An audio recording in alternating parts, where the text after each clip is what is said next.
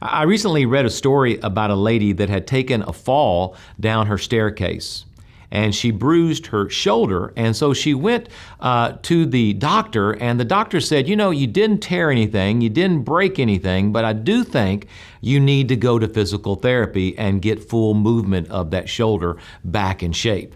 And so she went. Well, the first day when she walked in, she saw people with walkers and on crutches, and she said to herself, I don't belong here. This is not for me. I'm not that hurt. I feel fine. But then she realized as she started exercising next to a person that she had not seen in some years, and they began to talk. And the person said, You know, this is my physical therapy is going great, but the real challenge is I'm, I'm caring for my neighbor's cats because she's in the hospital, and I know nothing about cats. And the lady next to her, who had hurt her shoulder, said to her, Well, I know a lot about cats. And she gave her some advice. About a week later, she was there going through her therapy again, and she encountered another lady that she used to work with years ago. They got to talking, and she talked about how difficult the time was because she was going through a battle with breast cancer. And the lady said, Well, I know what that battle's like. I've gone through it too. About a week later, she encountered someone else, a neighbor.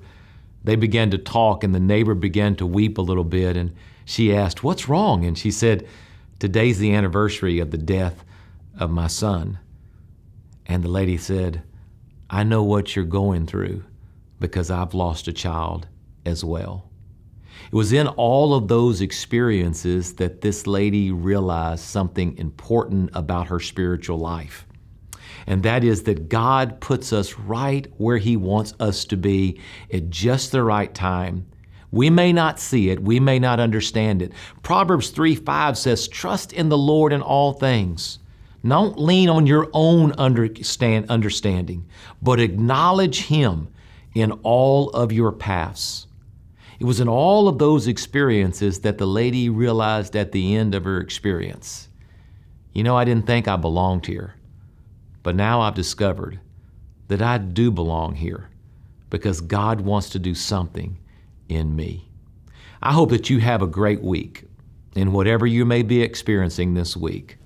Look around and see how God may want to use you, that you would be right where He wants you to be.